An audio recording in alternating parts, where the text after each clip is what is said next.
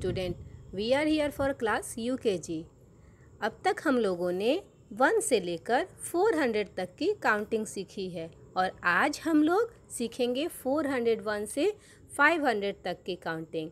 जैसे हम लोग फोर वन हंड्रेड वन लिखते हैं two hundred one three hundred one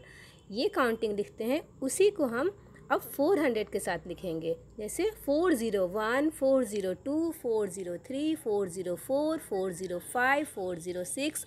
four zero seven, four zero eight, four zero nine, four one zero, यानी कि four hundred ten. इसी को हम लोग अब four hundred eleven four hundred twelve, four hundred thirteen, four hundred fourteen, four hundred fifteen, four hundred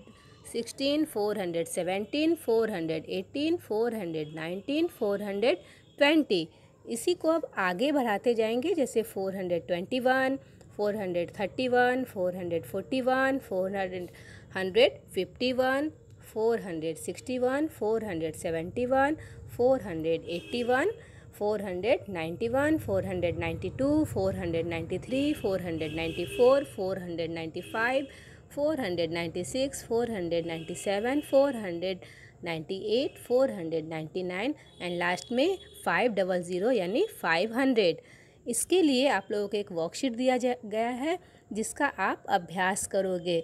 okay thank you